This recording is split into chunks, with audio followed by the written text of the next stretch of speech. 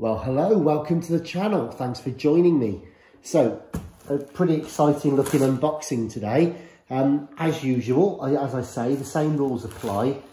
I don't actually know what this is at the time of opening. You will know by now, of course, because of the uh, video description, but this is the first time I will know what's in the package. Um, it's only arrived literally five minutes ago, so it's always good fun to share the unboxing with you guys. Let's see what we've got. What I can tell you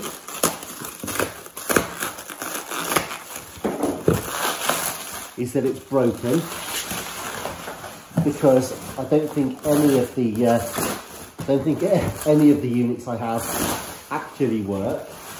So please do subscribe, by the way, for um, for repair videos because uh, I do restore and repair anything that, uh, that comes through the door.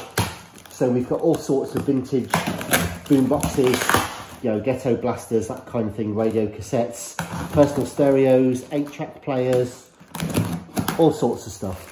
So, what do we have today? Oh, hello. All right, okay. One of the big ones. And this is I don't think I'm even going to save the packaging for this. Let's have a look. Let's get this out of the way. Okay. So, first things first, we have ourselves a little figure of eight connector with an old plug on there. So, what do we have here though?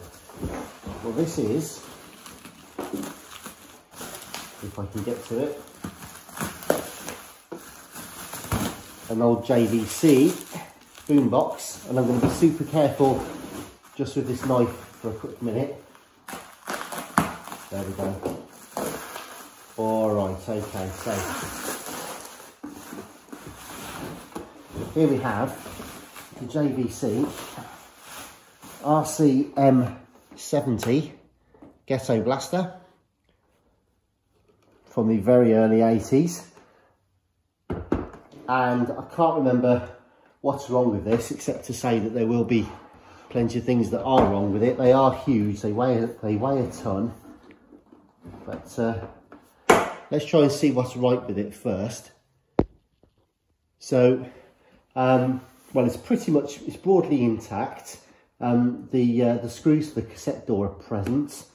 Um, yeah, a bit, bit flappy there and there's some paint, gloss paint on there, discoloration and paint to the speaker surrounds, but the original blue speakers are still there. Um, yeah, uh, the switches seem to work. Switches and sliders are present. And there's a broken aerial tip on here. Someone's don't know if you'll see that, but someone's basically put a screw in the end of one of the antennas there. Um, that antenna's fine though. Um, okay, so on the back, ah, right, okay. So, could be anything wrong with this now. So there's a hole in the back. There's normally a screw, uh, sorry, a, a plate on the back there um, with the model number and stuff. So I'm not sure what's happened or why that is like it is. So we'll figure that out in due course. Um, these units are ridiculously expensive these days, even in bad conditions. So, um, so yeah, we'll hopefully it won't be too bad. We know it won't be working. Either the radio or the tape will be broken, but um, it is what it is. You know, these things are so old. They're 40 odd years old now and, uh, you know, they need to be restored and repaired. So, um, so please do subscribe, hit the notifications bell because we will shortly be um, giving a proper full evaluation of this um, and I'll plug it in, test it, see what works, see what doesn't work and um, and we'll go ahead and start repairing it and get it up and running. So we'll do strip down and repair videos as well. So please subscribe, hit the notifications bell and do check out my other repair videos on Vintage Tech and I'll be back soon. Thanks again for watching. Goodbye.